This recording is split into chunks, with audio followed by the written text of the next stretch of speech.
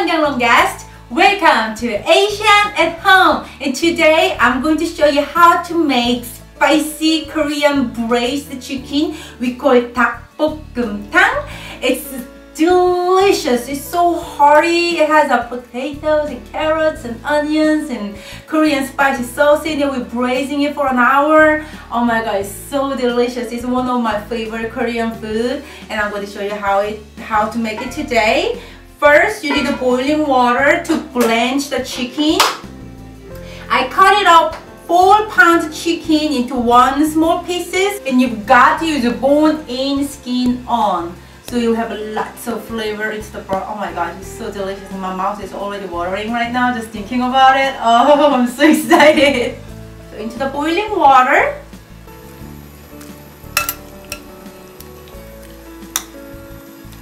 Alright, I'm going to bring back this to the boil. Then I'm going to drain it and rinse it in the cold water. Then we gonna ready to start braising our chicken with the spicy delicious sauce. So while we are waiting, I'm going to cut some vegetables. You see how large this onion is? Almost like my face big. I'm going to use the whole entire this one onion will give natural sweetness to this delicious tang. But remember you have to use sweet onion because it will give really nice flavor. Alright. What you need to do just cut it in half. That's big chunks. About like 2 inches. This is a danhobak in Korean and the kabocha in here and in Japanese.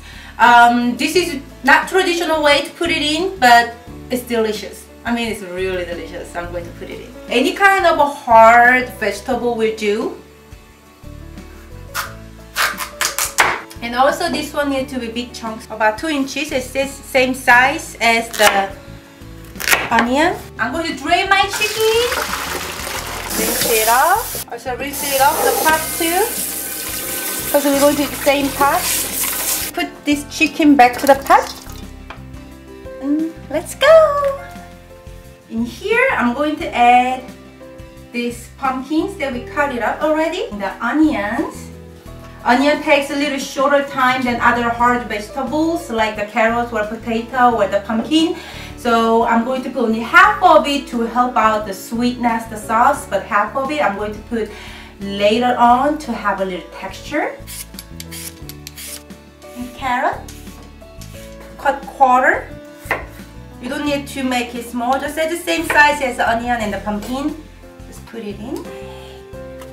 Two medium carrots.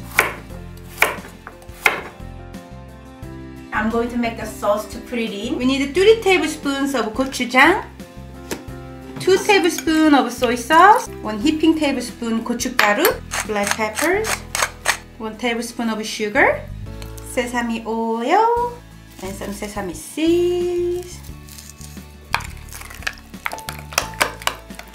2 tablespoons of rice wine. We forgot something though, right? We need the garlic. You need 6 to 7 cloves of garlic. Garlic smashing time! and I'm just gonna coarsely chop the cooked garlic right in here. Now turn the heat and we're gonna put all the sauce in here. And if this is too spicy, you can adjust the Korean red flakes. If you wanna make it more spicier, put more and put extra chili there too. Let's give it a nice stir. Oh my gosh. I'm so excited.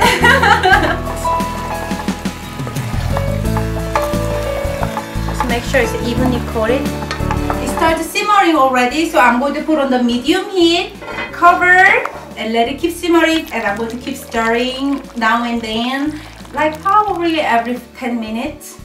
And now we are ready to go eat. I've been simmering about 30 minutes. I'm going to add the onion. See, onion is already gone. There's no onion. And that's my favorite part. It's almost like a stew, isn't it? It's like cold outside and you eat a stew with the rice. And, mm. Keep stirring here and there to not to burn the bottom. Especially the beginning 20 minutes, you need to stir very often. Four green onions, slice diagonal angle green onion ready to go too. Alright, I've been braising for 40 minutes. Look at that. Oh my gosh. It's been 10 minutes after I added that uh, onions. Look at that. And actually the, the pumpkin and uh, potato and carrots gonna little break down the outside, outside part, make naturally thicken this stew. Mm, delish. Okay, now I'm going to add the green onions.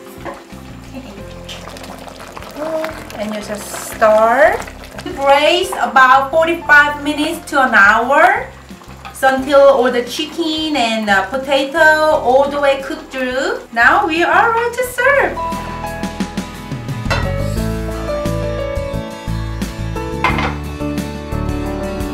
Gonna wipe it off the edge.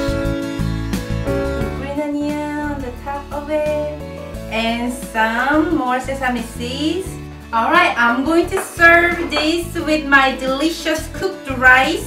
Oh my gosh. We got a little family star serving, which is how we do in Korea. So hearty, spicy, thick, delicious and bring me back to home. I love dakbokeum. I mean, it's one of my favorite dishes. So I hope you guys enjoy it and try for your families and friends before the weather gets too hot. So thank you for watching me today. And remember, you can always cook Asian food at your house, making it easy and fun. I'm Seonkyoung Longest, and this is Asian at Home. And I will see you next time. Bye! Mwah!